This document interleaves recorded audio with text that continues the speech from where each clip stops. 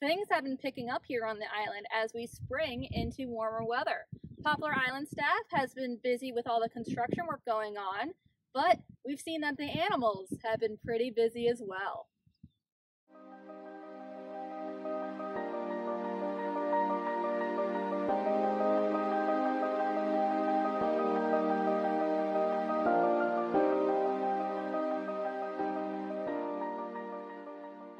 Hey everyone, it's Christina. It's been a busy time here on Poplar Island. Not only has the construction work continued throughout the seasons, keeping Poplar Island's workers busy, but we found that the animals were keeping busy too.